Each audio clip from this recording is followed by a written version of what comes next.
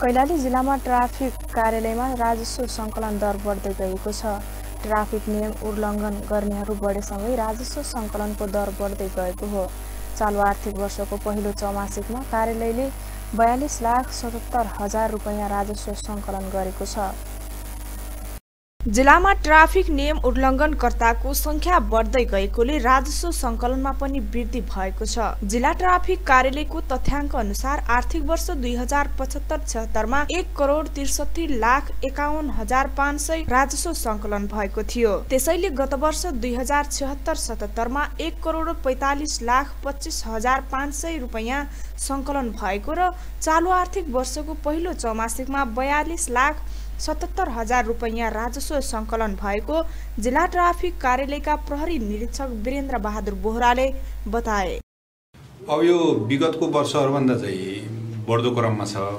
अब गत वर्ष तपाईँ पचहत्तर छिहत्तरमा चाहिँ एक करोड त्रिसठी लाख एकाउन्न हजार पाँच सय राजस्व सङ्कलन गरिएको थियो भने छिहत्तर सतहत्तरमा चाहिँ एक करोड पैँचालिस लाख पच्चिस हजार पाँच सय भने अहिलेसम्म यो पाँच महिनासम्म चाहिँ तपाईँको चाहिँ बयालिस लाख सतहत्तर हजार चाहिँ राजस्व सङ्कलन भइसकेको छ। अब यो चाहिँ कर्मिक प्रत्येक वर्ष कर्मिक रूपमा चाहिँ इन्क्रिजिङ अर्डरमा चाहिँ गइरहेको अवस्था छ।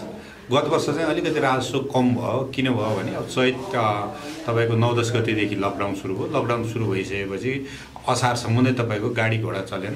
अब गाडी नचलिसकेपछि तपाईँको राजस्व कम नै हुने भयो। त्यो भएर गत वर्ष चाहिँ कम छ नभए भने अहिले यो वर्ष त अहिलेसम्म बयाली बयासी लाख पुगिसकेको छ यो चाहिँ वृद्धि हुने अवस्थामा छ। सवारी नियम उल्लङ्घन गर्नेलाई पाँच सयदेखि एक हजारसम्मको जरिवाना रहेको छ।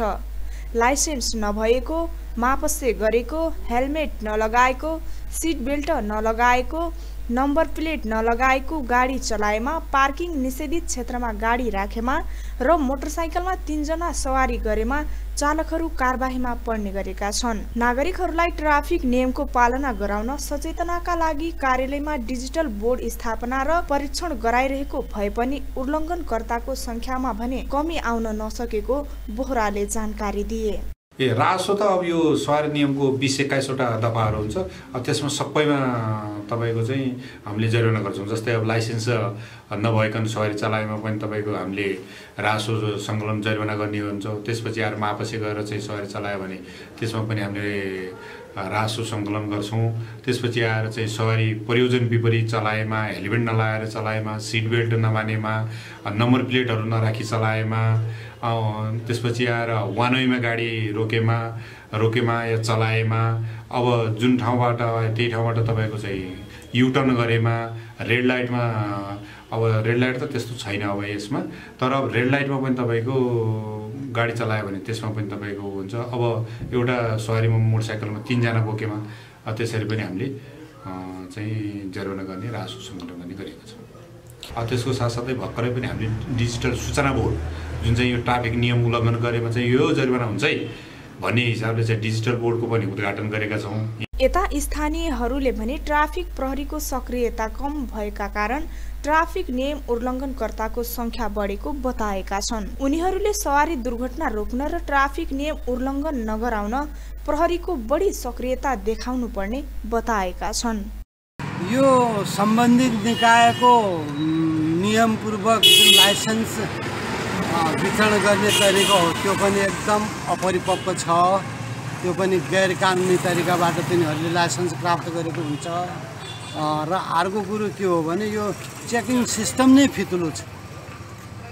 ठाउँ ठाउँमा राम्ररी चेकिङ गर्ने हो भने यसको चाहिँ दायरा कम हुनसक्छ। चेकिङ सिस्टम जुन छ यो राम्ररी हेर्ने हो भनेपछि यति चाहिँ दुर्घटना हुँदैन होला जस्तो लाग्छ।